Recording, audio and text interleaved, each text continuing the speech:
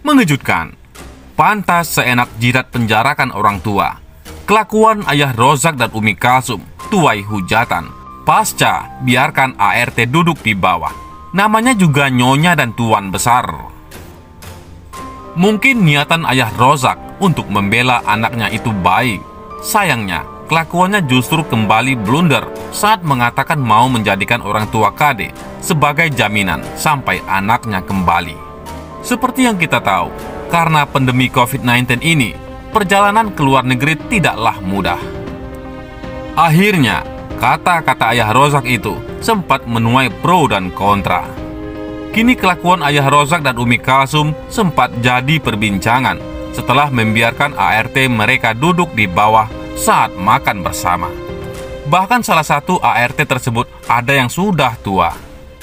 Awalnya, ia sedang berenang bersama dengan Bilkis. Lalu setelah itu, ia memamerkan hasil masakan sang suami, Haji Rozak, yang berlimpah.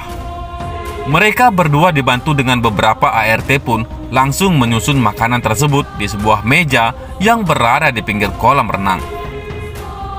Tidak lupa orang tua Ayu Ting Ting mempromosikan kalau hasil masakan Haji Rojak akan bisa dinikmati di bisnis kuliner anaknya, Ayu Ting Ting Kuliner.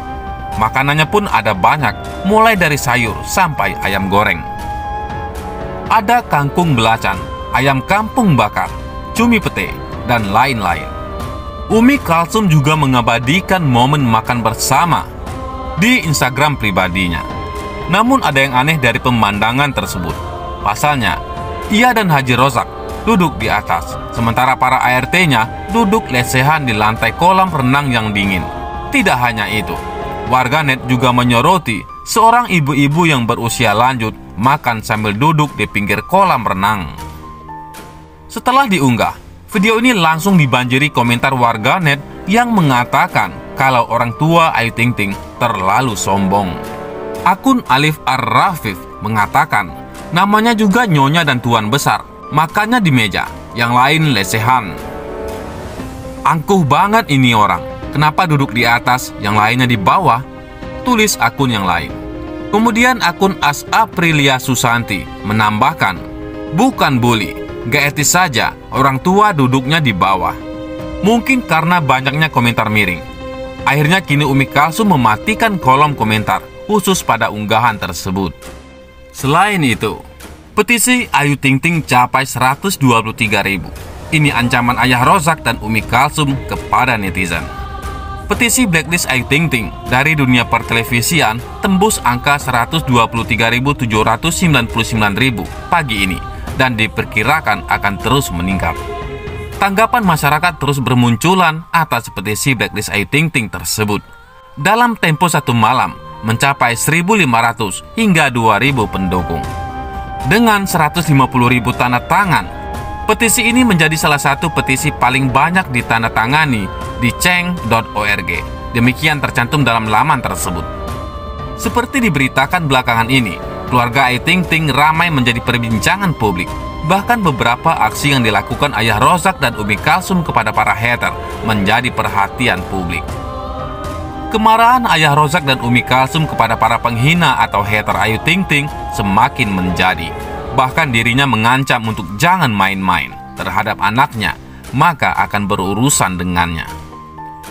Diawali oleh tenaga kerja wanita atau TKW Singapura asal Indonesia, Kartika Damayanti yang melempar hinaan tajam terhadap Ayu Ting Ting dan putri satu-satunya Bilkis. Imbasnya, kedua orang tua Ayu, yakni ayah Rozak dan Umi Kalsum, mengaku geram setengah mati. Bahkan ayah Rozak dan Umi Kalsum dari Depok sampai mendatangi kediaman Kartika di Bojonegoro, Jawa Timur untuk menangkap dan memenjarakannya. Ayah Rozak mengaku telah lama menyimpan rasa kesalnya terhadap para penghina Ayu Ting Ting sebab Menurutnya, orang-orang tak bertanggung jawab tersebut tak benar-benar mengenal putrinya, sehingga mereka tak pantas menyampaikan kata-kata bernada kasar. Abdul Rozak jelas marah dan sakit hati atas perlakuan bully para hater kepada anaknya. Untuk itulah ia akan mengejar pelaku perundungan Ayu Ting Ting. Buat hater yang julid, yang punya hati dajal, iblis, sekarang pada ngumpet karena takut, kata Abdul Rozak. Jangan main-main sama saya. Hukum tetap berjalan. Tunggu, lanjut ayah Ayu Ting Ting. Bukan main sakit hati banget, jelas pria yang akrab disapa ayah Rozak itu. Sebenarnya, konflik antara keluarga Ayu Ting Ting dan para penghinanya sudah sering sekali terjadi. Bukan hanya masyarakat biasa, publik figur dan tokoh politik kabarnya juga pernah gontok-gontokan dengan mereka. Abdul Rozak juga menuturkan, ia bersama sang istri sudah menemukan hater selain KD namun keduanya belum mengungkap detail siapa sosok tersebut. Gundik Empang atau akun KD sama ada nih di daerah Bandung, kata Abdul Rozak. Sang istri Umi Kalsum menambahkan ada salah satu di antaranya yang memiliki jabatan.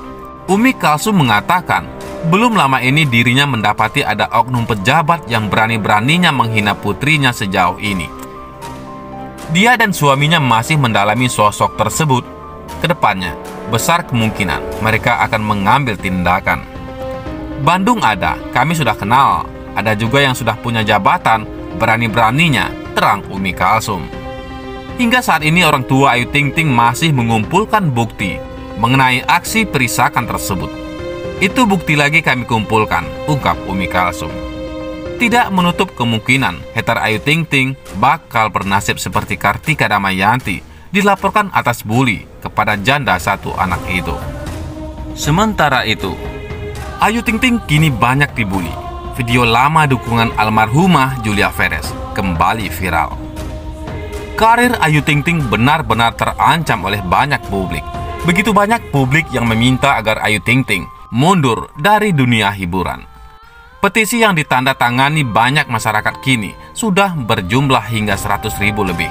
Di samping itu, tindakan orang tua Ayu Ting Ting yang dianggap kasar pada orang tua haternya ternyata membuat banyak pesohor publik geram. Kini sebuah video kenangan saat almarhumah Julia Perez bersama Ayu Ting Ting viral di media sosial. Dalam rekaman tersebut, almarhumah Julia Perez kesal dengan orang-orang yang menghina Ayu Ting Ting. Aku suka kesal sama orang-orang. Kalian semua perempuan, kalian punya hati, kata Julia Perez. Tidak ada perempuan menindas perempuan. Seharusnya perempuan saling gotong royong, kata Julia Perez. Ayu Ting Ting dengan menangis terseduh-seduh kagum dengan pembelaan almarhumah Julia Perez. Gak boleh kita injek-injek namanya perempuan, kalian orang Indonesia semua di sini, jawabnya. Almarhumah Julia Perez lalu menenangkan Ayu Ting Ting. Kalian bully perempuan Indonesia punya hati. Dia perempuan terhormat di sini. Saya tahu perempuan bandel seperti apa, jawabnya. Dikatakan almarhumah Julia Perez bahwa hater telah membuli orang yang salah. Hater yang membuli Ayu Ting Ting kebanyakan penonton sinetron. Kemudian Irfan Hakim mengatakan, orang bebas menilai, tapi yang tahu keadaan adalah dirinya sendiri. Beredarnya rekaman almarhumah Julia Perez yang membela Ayu Ting Ting dikomentari oleh publik di Instagram. Lia Liut Brebes karena mereka yang julid manusia tidak waras, sudah tertanam di pikiran kotornya, tulis Instagram Budica 25. Jadi ikutan nangis, luapan emosi dan tulusnya almarhumah kerasa banget, tulis Instagram Sari Olivia. Apa sih faedahnya menghujat orang lain? Orang yang selalu menghibur selalu banyak cobaan dan dengkian. Baik salah, salah juga dihujat. Tulis Instagram Sadiman Official 98. Fan dan hater berlebihan adalah gejala sakit kejiwaan. Terapinya jangan main medsos kalau tidak penting. Sibukkan diri dengan kegiatan positif, interaksi dengan keluarga dan orang dekat. Kerjakan hobi dan jalankan ibadah dengan benar. Pelan-pelan ubah mindset bahwa manusia tempatnya salah dan lupa. Tak ada yang sempurna kecuali Allah. Tulis Instagram Kaira 5 Hope. Semoga diberi yang terbaik. Tulis Instagram Dian.